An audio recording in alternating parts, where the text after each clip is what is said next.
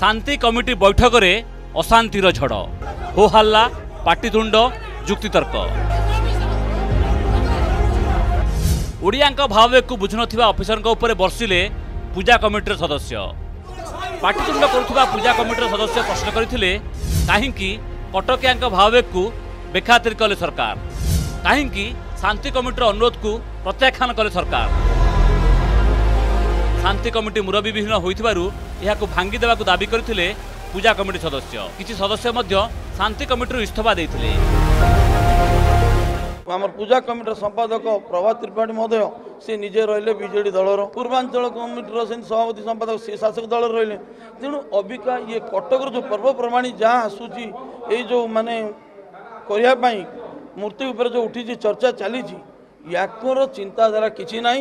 ଏମାନେ ଯାଇଥିଲେ ପ୍ରଶାସନ ପାଖକୁ ରିକ୍ୱେଷ୍ଟ କରିଦେଲେ ପ୍ରଶାସନ ଆଙ୍କ କଥାକୁ ରକ୍ଷା କଲାନି। କାହିଁକି ରକ୍ଷା କଲାନି?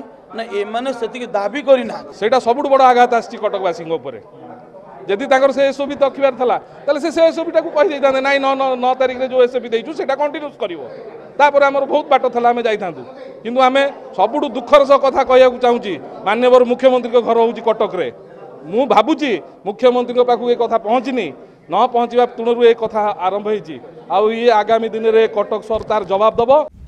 ସେପଟେ ଶାନ୍ତି କମିଟିର ପ୍ରତିନିଧିତ୍ୱ କରି ସରକାରୀ ଅଧିକାରୀଙ୍କୁ ବୁଝାଇ ନ ପାରିବାରୁ ମୁଣ୍ଡ ନୁଆଇଛନ୍ତି ବିଜେଡି ନେତା ପ୍ରଭାତ ତ୍ରିପାଠୀ।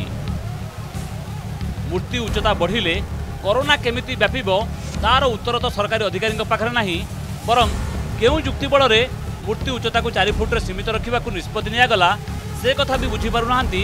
ସରକାରଙ୍କ ସହ ଆଲୋଚନା କରିଥିବା ଶାନ୍ତି କମିଟି ସଦସ୍ୟ ତଥା ବିଜେଡି ନେତା ପ୍ରଭାତ ତ୍ରିପାଠୀ। ତେବେ ମୂର୍ତ୍ତି ଉଚ୍ଚତା ବଢ଼ାଇବାକୁ ପୁଣି ଥରେ ଆଲୋଚନା ହେବ ବୋଲି କହିଛନ୍ତି ପ୍ରଭାତ। ମୁଁ ଯେହେତୁ ଆପଣଙ୍କ ଆଗରେ କଟକବାସୀଙ୍କ ଆଗରେ ଓଡ଼ିଶାର ଜନସାଧାରଣଙ୍କ ଆଗରେ ସ୍ୱୀକାର କରୁଛି ଯେ ମୁଁ କୌଣସି ନା କୌଣସି କ୍ଷେତ୍ରରେ ଏ ଠିକଣା ନିଷ୍ପତ୍ତିଟା ସରକାରଙ୍କୁ ବୁଝେଇବା କ୍ଷେତ୍ରରେ ମୋ ସହିତ ଅନ୍ୟ ବନ୍ଧୁମାନଙ୍କୁ ନେଇକରି ମୁଁ ବିଫଳ ହେଇଛି। ମୁଁ ତ କେବେ ତାଙ୍କର ନେତା ବୋଲି ଦାବି କରୁନାହିଁ। ତାଙ୍କର ସହଯୋଗୀ ଭାବରେ ଯେହେତୁ ବିଫଳ ହେଇଛି ପୁଣି ଉଦ୍ୟମ କରିବି।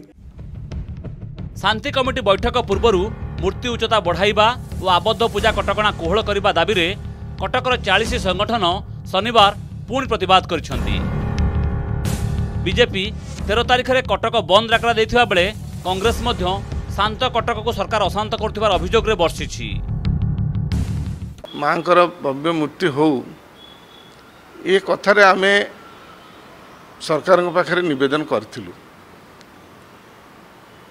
ଏଥିରେ ପର୍ଦ୍ଦା ପଡ଼ିବ କି ପଡ଼ିବ ନାହିଁ ଏ କଥା ମଧ୍ୟ ସରକାର ନିଷ୍ପତ୍ତି କରିନଥିଲେ ସରକାର କହି ବି ଥିଲେ ଯେ ନାହିଁ ମୂର୍ତ୍ତି ହଉ ପର୍ଦ୍ଦା କଥା ଆମେ ଶେଷରେ ନିଷ୍ପତ୍ତି କରିବା।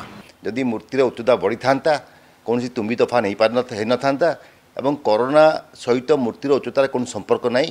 ଆମେ ବାରମ୍ବାର କହିକି ଆସିଛୁ ଯେ ଲୋକଙ୍କର ଭକ୍ତିଭାବକୁ ସମ୍ମାନ ଜଣାଇ ଯଦି ପୂର୍ଣ୍ଣାମ ବୟନ ମୂର୍ତ୍ତି କରାଯାଏ ତାହେଲେ କରୋନାର ଏହାର କୌଣସି ପ୍ରକାର ପ୍ରଭାବ ପଡ଼ିବ ନାହିଁ। ଶାନ୍ତ କଟକ ଅଶାନ୍ତ କରିବା ପାଇଁ ଏକ ଯୋଜନା କରିଛନ୍ତି।